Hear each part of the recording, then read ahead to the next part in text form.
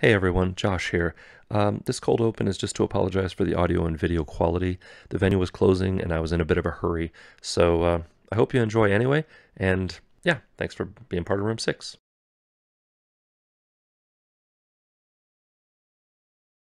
Don't do drugs. it, Don't do- do it does tend to derail things, and it, it's a hard thing to come back from. It slows you down. Yeah, it, it's the, it's that temporary good. First of all, are you being sarcastic?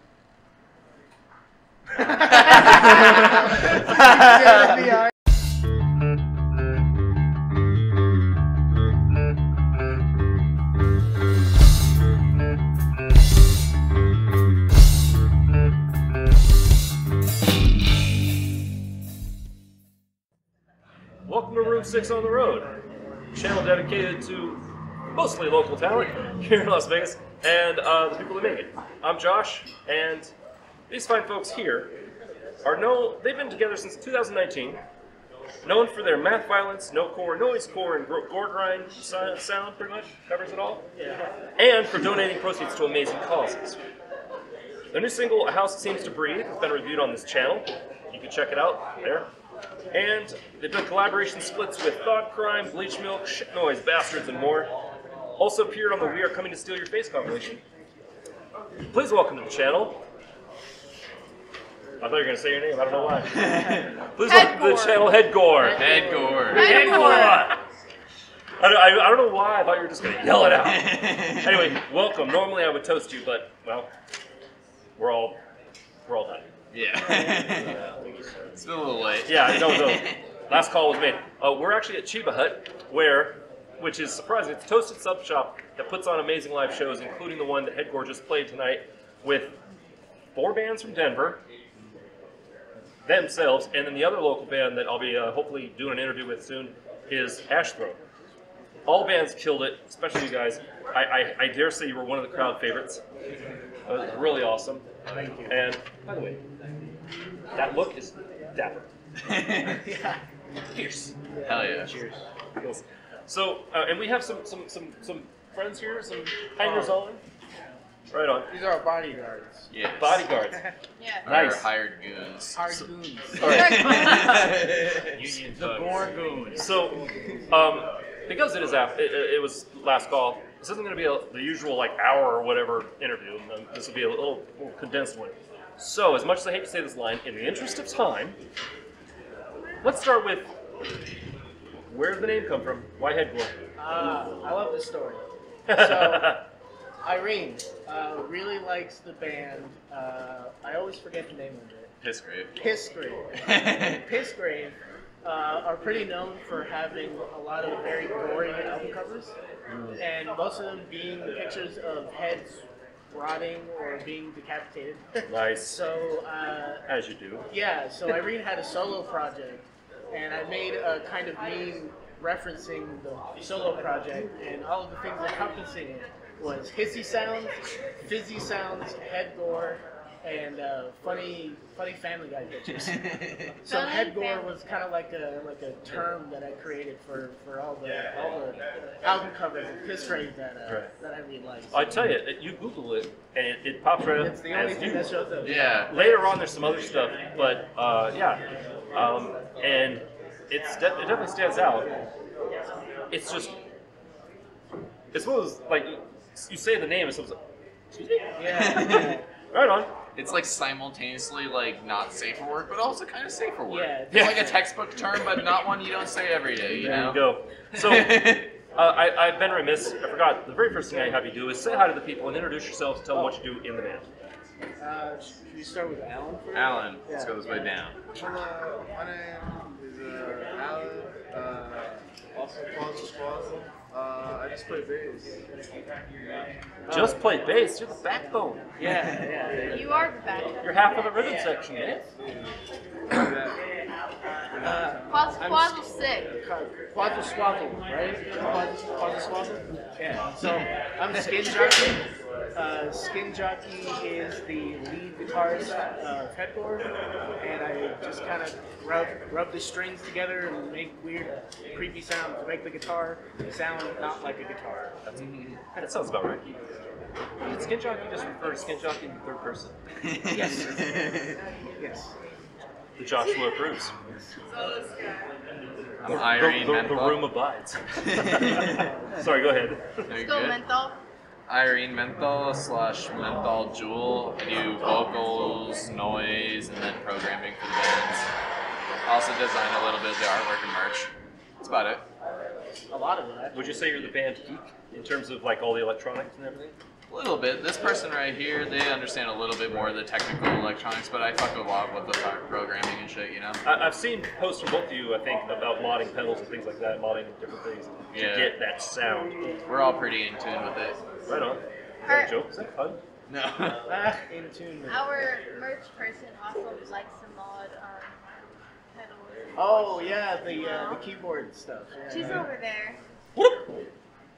Shout out. Her name's Heather. Shout out Shout out, Heather. shout Shout out Heather. Shout out Merch person. Heather. Most important person of any band is the Yeah. merch person. Yeah. Uh, right there. What's, what's, what's the uh, what's the second line there? Buy merch. Buy merch, Hell yeah, yeah. of course. Um, next. I'm Jehu. I play slide, and um, the engineer. I do the uh, the recording, Right on. the mixing. Okay. And last but not least, I'm Dumpster Dan, and I play drums. It's fun. And, and guitar sometimes. And guitar sometimes, yeah. that happens. That's, and, and may I say, very nicely accessorized on the mask. Thank you. Yes. I, I'm testing a theme. right on. So, uh, moving on from there, real quick, I wanted to talk briefly about musical influences, and and specifically because I know that's a broad category, especially with the genres that you tend to touch on. I want to talk about that earliest musical influence. What was the first thing that said that made you say like, I want to try, I want to do music, uh, whether it was a particular song, a particular artist, or a particular genre of music, or an instrument. Uh, I would say for me, it started in probably middle school or high school when I found the band Gaza. When I found uh, Gaza, G-A-Z-A, Okay. yeah, uh, like the Gaza Strip. Uh, they're from like Utah, and they were the first ones that I, uh, they were the first ones that introduced me to the genre of sludge, where it's very noisy, very slow, very just eccentric. Chunky. Yes, very very chunky. Yeah. There was some of that Very tonight, I would say. Yeah. There was a little bit of sludge mixed in things. Yeah, before I was really into like very pristine, clear cut, like technical death metal and things of that nature. So when I found out about Gaza, I found out that things could be very dirty and nasty. That like just opened a whole new world of, of different kind of music for me. Right. So I, I would say the earliest for me, definitely for sure. It- yeah, it's kind of like that first thing where you're, if you learn on acoustic guitar and then you pick up an electric, you're like, oh, I can get away with stuff now. Yes, oh, yes. And, and, and especially with pedals, then you discover, oh, there's all these other genres or sounds that are not, I won't say more forgiving, but necessarily, but, but like, it's, it isn't what you hear on the radio necessarily. Yeah. Uh, like that. Yeah. Make my Anyway. guitar sound like that. Yeah, yeah. Next! I, I think like for uh, me personally, the band that really inspired me to start writing music is probably on on the real Mortician. Just because Mortician really boils down songwriting and song theory just to like its bare bones, fast part, slow part, sample, end. That's it. And once you can understand the bare fucking essentials, of just like how simple songwriting can be, you can really build up from there. You know. It's like one, two, three, zero. Yeah. And then one, two, three, zero, but palm muted. Sometimes, Yeah. sometimes jazz, you throw in that, eh, seven, you know. Throw that little thing. Um, I actually, because of this channel, I review a lot of music, and it's depressingly common. Like it's like, I know what's coming next. I know what's coming next. It's good. I, I still, you know, yeah, it's a bop. I like it. But, you know, that's why I enjoy music like your guys' that really makes me sit there and like, okay, what's going on? I have to think, and I have to really analyze it and get past get past whatever is on the surface. You don't have to analyze it. yeah, it's not that deep, I promise. It's truly not that. Deep. Well, as, as a singer songwriter and lyricist, I do sometimes because what I know that sometimes the image you put, put out there on the front, and that includes like the guttural or the you know all the noise. If you dig down, you're like, no, wait, there's, there's like some complicated polyrhythms and other all this other stuff going on that they are doing and, and challenge. It almost seems like you're challenging people to, to find it. So I'm down with that. Um, who who else? Earliest music reference? Any influences? Uh, I really like Nirvana. Nirvana is the band that I mean I was playing music for a long time, but once I found that band, I learned a lot from their music and their sounds, and they are also very sludgy when you find their like beat tracks and stuff, kind of like how Marcus was saying. Yes, yes. There, there's some stuff there that never would have made it on the radio or, or MTV or Some whatever. stuff like you know, like they're friends with the Melvins and a lot Yep. of bands that I really like from that time. So I think that they got me into learning different kind of um, just riffs and shit. I guess.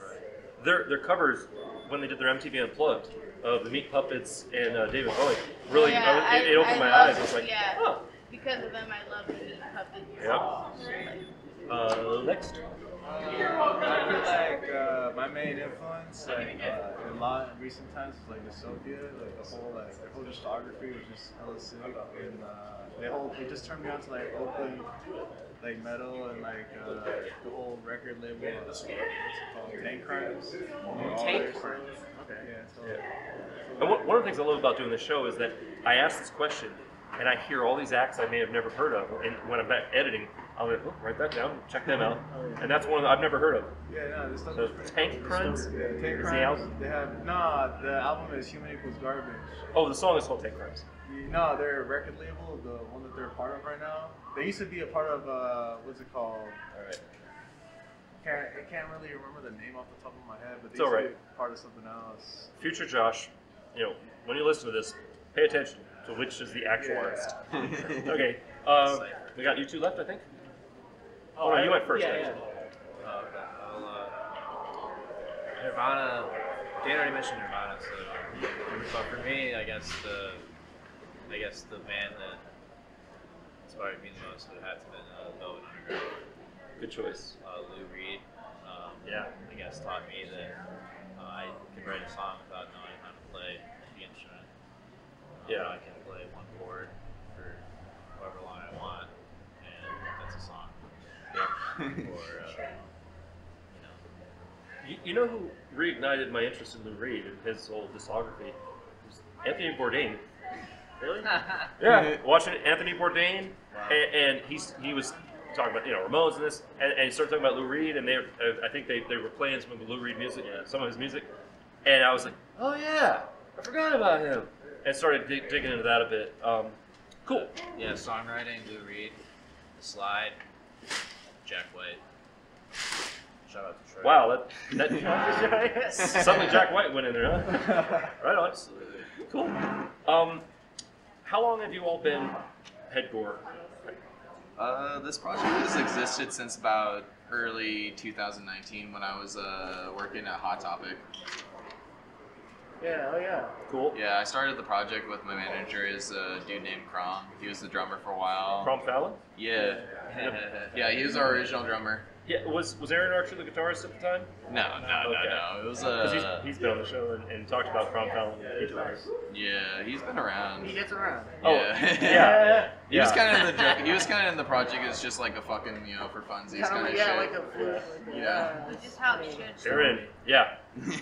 I, I recently joined a band. Um, actually, like a year ago this month. I feel like a year ago this month we played our first show together. yeah. But before then, Thanks, like, COVID. There we go. Yeah, fuck that shit. That shit sucks. But yeah, before that we were good friends, and they were honestly like my favorite band that I knew out in the city. So it was cool to like actually start playing with them and stuff. We used to play shows together, and like me and our bassist, our own band. Cool. Uh, actually, there were a couple guys uh, uh, running sound tonight, and they said that they're in another band with some members of Headgore. So I think that was Yeah, Yeah. yeah, that's uh, Lepidoptera. yes. That's me and Alan. Right on. Cool. Uh, moving on. So, what's wrong with Mortician? Because apparently you like to make you like to insult them. I just like to bust their balls. I got their attention. Yeah, there He's a you good go. friend of ours now. Right on. I've uh. if only they if only they would come on and do an interview, huh? You know what? You know Hey. what? Maybe. I'll mention it to him. Right on. Yeah, well, yeah. See, tag him, tag him. He's local to here Throw now. Yeah. So, all right. Um, talk to me about Ephesians 4:26. That's a Bible verse. Yes, thank you. It's, My name is uh, Joshua. I know a thing or two about the Bible. Go ahead. It's do not sin in anger and do not let the, the sun go down while you are still angry. Right. It's basically just anger management in its purest, cleanest form. It is. Because at the end of the day, this is an extreme metal band, but I, wa- I do want to encourage affirmation with people. I want to encourage good attitudes, you know? Okay. You know? Yeah, a lot of people get like the wrong idea about metal bands, and people just think that because you make angry music, Right. that you're an angry person. And that goes back to what I was saying about how, like, if you dig down a little bit Yeah. and you know anything about music, suddenly you're like, oh, you know. Um, and, and there's many bands in this town that, you know, up at, at first, that first Sonic Assault, you're just like, okay, that's over with. Now it's like a, it's like spicy food. After that first assault, then you're like, okay, now what's actually going on? Ooh, I, I can taste this, you know, or peated scotch for those of you that drink whiskey. Oh man, I love some Laphroaig. That's the stuff. You can kiss my. I'm just. I actually don't like smoky peaty stuff. I'm a Highland malt, single malt guy. Oh, oh, the Highlands are. Yes. Yeah. Sorry, we're digressing into whiskey reviews. That's a whole other thing. I do whiskey reviews as well. You know, look through the channel. Anyway, um, you were friends of the Social Set and the Cheeks, both of which have been on the channel. Uh, I know the social set pretty well. I haven't Yeah. really, I don't think I've ever met any of the Cheeks in person. I thought you did a show with them.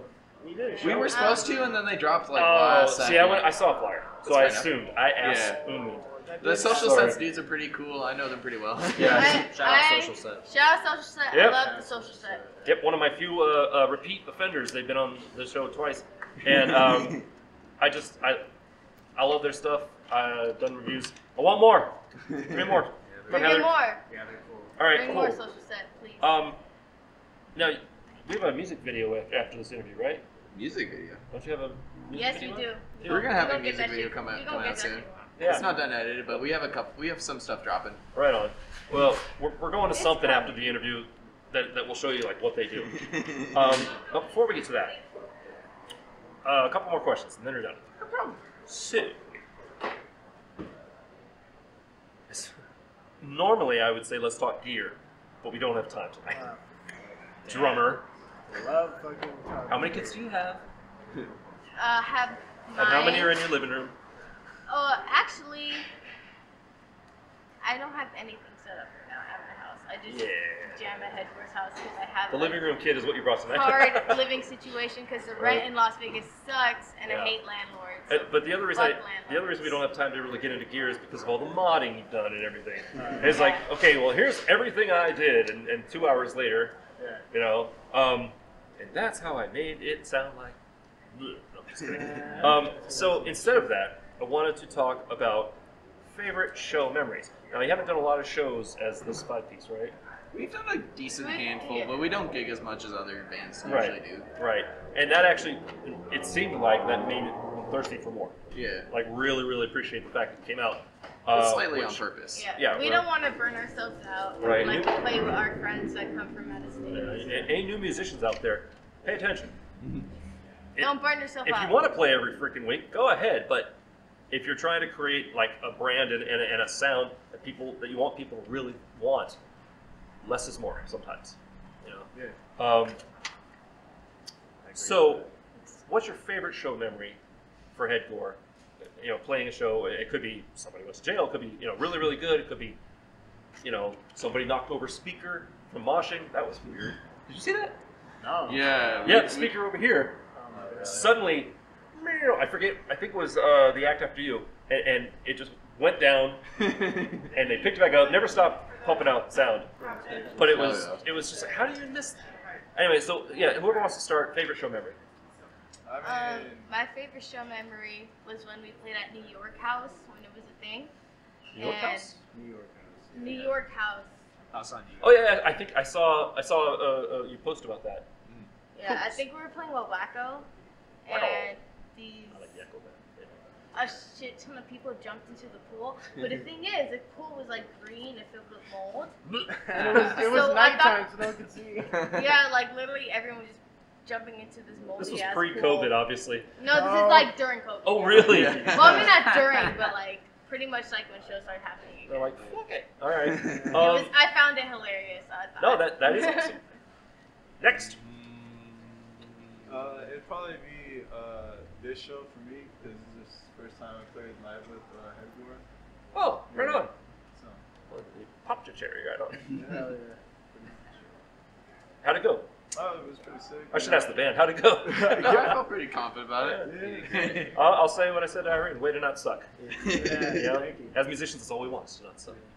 So, Uh, I think my favorite memory is when uh, we were very proto headgore, and I think at the time it was just you and me, and I think maybe Jacob.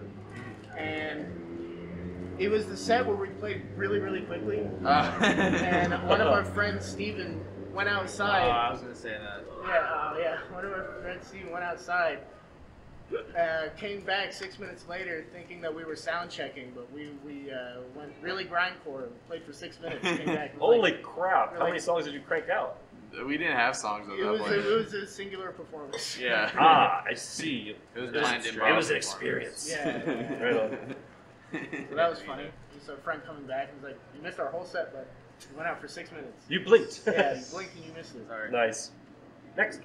Uh, I'd say probably our last show at Big City was pretty cool, just to get our first like real big mosh pit. To look up and just see fucking nothing but just like flurry of people, you know. Yeah. Especially because in the backyard, even though it sucks because we get a bunch of dirt in our merch table and everything, but like just to see that fucking sand pit is just, it's an exhilarating, you know. I've heard stories like like uh, the whole area of one thing and, and other places where people are playing and they're like like you're playing you can't see the crowd. Yeah. There's so much freaking du- uh, dirt and stuff in the air. Yeah. And yeah, as a singer, you're gonna be like, oh god. Feel good on the lungs. I don't think. Yeah, right. Uh, next. Um, probably this show we played at a warehouse where uh, we were using uh, backing drum tracks, We did a little- the- and this uh, Did you Milli Vanilli yourself? Did it skip? one of our uh, roomies, he, uh, I think what happened was he uh, went behind the PA and turned up the echo on the, on the Christ. end. and uh, so it was just uh, So it was not an little accident. of confusion at the beginning, and then we uh, we got stopped by the police about ten minutes later. Nice. We lost somebody. I was there. That was before I was Oh, in the he's like, he's checking on our friend. Okay. They literally got shut down like a few minutes into the set. it I was look up and I see a because they were cop, like the I see a loudest cop standing at the the door. I'm like, Are It you, was- fuck. you're, all right. you're either a stripper or. Yeah. They're like, We're- we're stop drunk. right now. All right. That was at uh, the warehouse, right? Yeah, y'all went to that show. That was so cool. Cool. Did we get everybody for, for best show memory? Yeah. Yes. Did you get yours? Yeah, I did the, the six minutes. Right on. Okay. So I apologize. This is a, an abridged, abbreviated interview, but um, it is what it is. So we are on the last question. You made it. Yay. cool. You haven't fallen over. And let's pretend we're talking to little you. That that little you that first said, "I want to start doing music." What is one thing that you wish somebody had told you before you started getting into the music scene? Don't do drugs.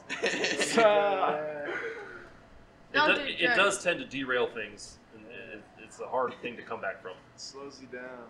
Yeah, it, it's the, it's that temporary good. First of all, are you being sarcastic?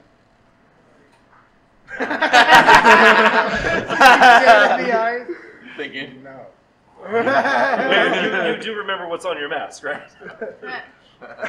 so, so, but but yeah, I mean, it, it's one of those things. Like having a good time is is fine and all, but if you're trying to actually do a thing at all with some seriousness, Yeah. you know, it's like there's there's time and place, and practice ain't it. That's for sure. Recording studio's not it. Uh, so all right, that's good advice. Don't do drugs, kids. Yeah. Listen to Nancy Reagan over here. Uh, where's Nancy Reagan? Yes. Next. I'll go next. Okay. I would tell uh, younger self me that uh, it's gonna be okay. You're gonna get closer than you think, Yeah. and that's about it. You're gonna get a lot farther than you thought you were going to, and I'm glad to say. that. Yeah, yeah. I guess I guess that's a good piece of advice to give myself. Is you'd be surprised what people are willing to take in. Yeah. You'd be surprised at how how receptive people can be. Because yeah, I, I get surprised every single time I look up and I see people getting all, all wacky to our music. I'm like, really? Cool. I, I I was out here taking photos for the review I'm going to do of, of the show. If you haven't subscribed by now, click down there so you won't miss out. I have to do that. Sorry. I was surprised. I was standing over here taking some photos and, and filming, and somebody was fanning me with their hair. Just go, go, going. And I was just like, there, that's torque. but yeah, no, you, you everything ratcheted up a notch when when you guys started playing. Oh, yeah. You know. Uh, next. Uh, I probably just tell myself that uh, art is subjective. You know what I mean? And Yeah, like to not so. really, uh, what's it called? Focus on what other people say about your art. You know what I mean? Just have fun. You know. Right. Don't really worry about it. Just do what It, it's do. tr- yeah. Creating is one of the hardest things to do because not only are you wor- you worry about what other people think, but you have to listen to yourself. And and you know, I don't I, I don't know anybody that's creator or creative that is just like my, I'm the shit and everything I do is perfect and everything I do is great. and Everybody loves what I do and I'm gonna be famous and rich. It, it, no, and I, I believe that's a, that's an act. Like so many people, there's the there's the persona, but in you know, once a week I have to have a conversation with myself, reminding myself why I do this. Yeah, he gets both for now. Yeah, probably. but I, I said, you know, I don't know anybody. Yeah. So, uh, did we do yours? No. Talk to yourself. I would say uh, learn how to play drums or program drums. I honestly wish I'd, I'd started earlier. I, I finally Everybody does. They're so important. I started like 48, and I, I really wish I had started earlier.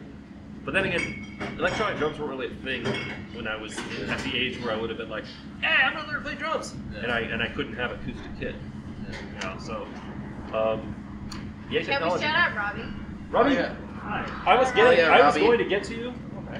Who the hell are you? Oh, well, um, I helped with work today, Uh-huh. and um, I booked other shows in town. Right on.